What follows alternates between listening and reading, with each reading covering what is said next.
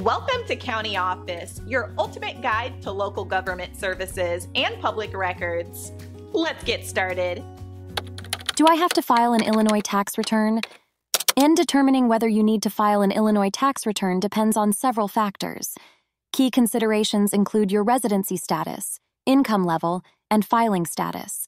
Illinois residents must file a state tax return if their Illinois base income exceeds the exemption allowance. Non residents and part year residents must file if they earned income from Illinois sources. And why your filing status on your federal return affects your Illinois tax obligations.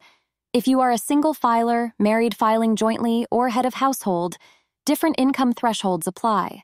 Additionally, if you received income from Illinois sources while living in another state, you might still need to file. An Illinois tax law requires you to file a return if you owe additional tax.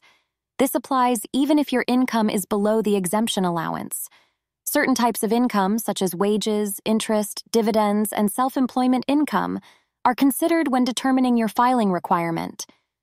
If you received a refund from Illinois in the previous year, you might still need to file a return.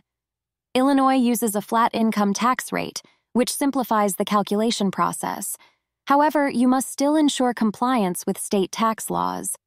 NIAN filing an Illinois tax return also allows you to claim any credits or refunds you are entitled to. Failure to file can result in penalties and interest on unpaid taxes, NN.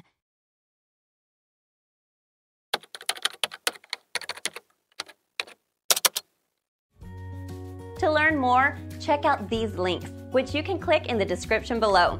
And feel free to comment your questions. We're here to help. Thanks for tuning in to our video. Please like and subscribe and leave a comment below. See you in the next video.